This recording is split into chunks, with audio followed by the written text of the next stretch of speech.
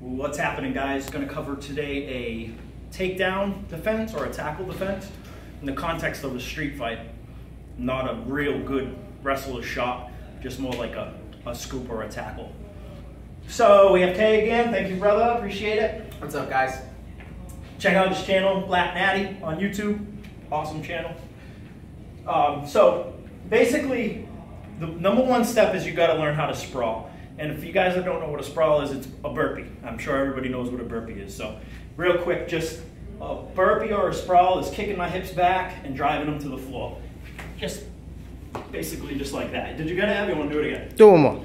So here, the, no matter what, what position you're standing in, just kick your hips back and drive them to the floor. That's the motion that you're going to need to stop the takedown. Underhooks are important, and we'll talk about that in a second. So Kay's just going to come at me like a, you know, like a, a street fighter would, just kind of a scoop at whatever level he wants. It doesn't really matter because it doesn't change much the technique. So, okay, go ahead. Here, good. So first things first, I got to be on time to kick my hips out. Now, let's say I didn't get underhooks. I'm on top of Kay. It doesn't matter. This technique stays the same. The hips kick out, and I'm going to drive some weight down with my forearms onto his back, or the back of his neck. Here.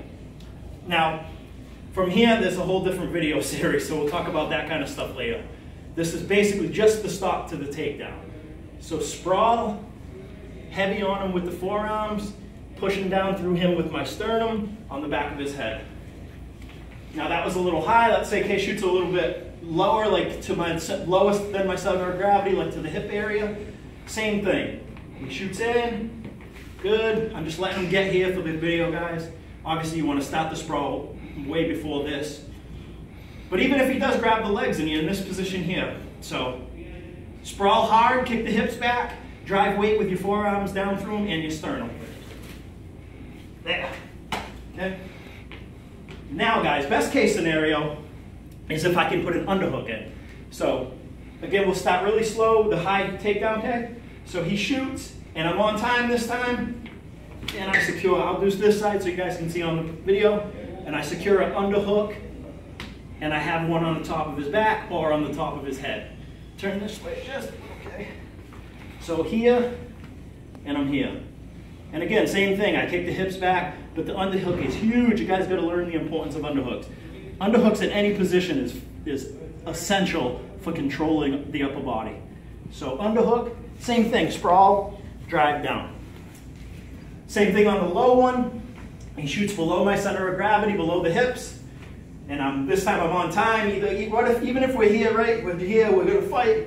Whatever street fight, he decides, all right, I'm to tackle. Bam, right. So I get my underhook in, and I sprawl. Very easy. And from here, I can get to work. There's a million things to do. We're not going to talk about that now. So we do a couple just a little bit faster with some resistance so you guys can see it. And we're here set up, want to fight.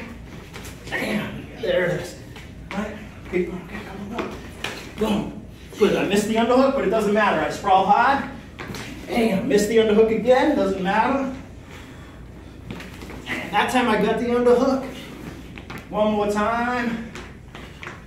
Sprawl. That time I was really late and I was still able to stop the takedown. Okay, thank you. Thanks guys. Subscribe to the channel and thumbs up, like it. Go check out Kay's channel, Black Natty. Appreciate it. Let me know you want to see. Thanks guys.